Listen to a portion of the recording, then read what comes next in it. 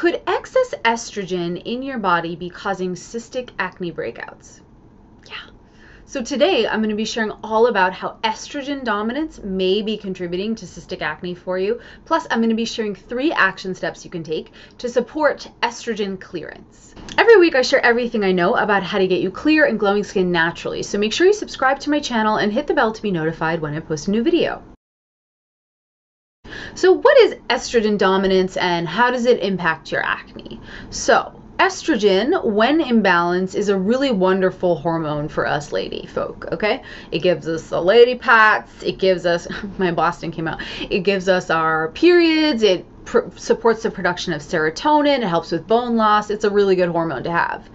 When in balance, when out of balance and or not adequately balanced by its counterpart progesterone that's when we start to run into some problems and when you start to get some cystic acne. So, question for you Do you have any of the following items? Do they sound like you at all?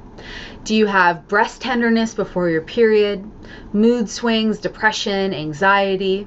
Do you struggle with weight retention? Do you, weight retention so you like your face gets kind of like puffy before your period and or throughout the month?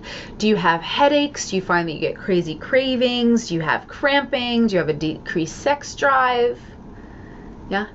If you answered yes to four or more of those, you might be struggling with some estrogen dominance. So let's talk about three action steps you can take to start to support support the clearance of estrogen from your body. So here are three action steps you can take if you think you're struggling with some estrogen dominance. And again, if you answered yes to four or more of those questions I just asked and or you have cystic acne on your jawline, this could definitely be you. So step number 1 is to add in a two to three workouts at least a week. Okay, you need to support your basic pathways of detoxification by supporting your lymphatic system. So we have lymph nodes everywhere throughout our body, right? And I read it once in one of my nutrition courses and basically the professor said that the lymphatic system is amazing except for the fact that it doesn't have a pump.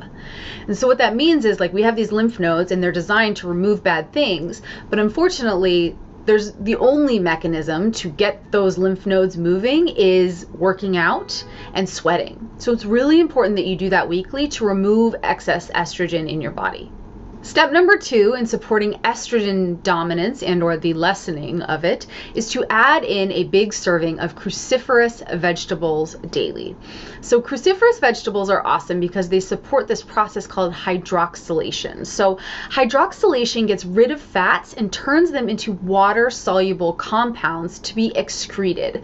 So basically hydroxylation supports detoxification and cruciferous vegetables supports support hydroxylation. Some yummy vegetables that you can try are kale, arugula, bok choy, um, broccoli, asparagus.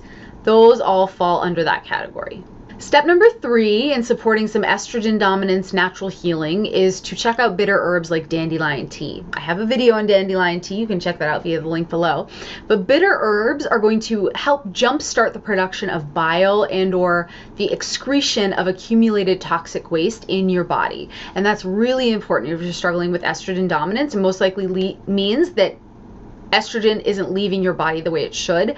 And so when you consume things like bitter herbs via things like milk thistle, which is a supplement, or dandelion tea, which is just a tea you can buy at the store, you'll start to support your body's natural pathways of detoxification and as a result remove hopefully excess estrogen. So now that you have these three action steps to start to support estrogen dominance and or the natural healing of it, would you like more hormonal acne support? If so, I have a download available via the link below that shares nine hormonal acne supplements. Again, always check with your doctor. I am not one. That you can check out if you're struggling with acne and you need some extra support. Also, if you want to join a safe, private, empathetic community of people struggling with these same exact things as you are, make sure to join our Facebook group via the link below as well. If you liked this video, if it gave you more insight, I'd love for you to comment below with starting today because I want to support you. And if you're going to take action on one of these steps to support estrogen dominance and or the natural healing of it,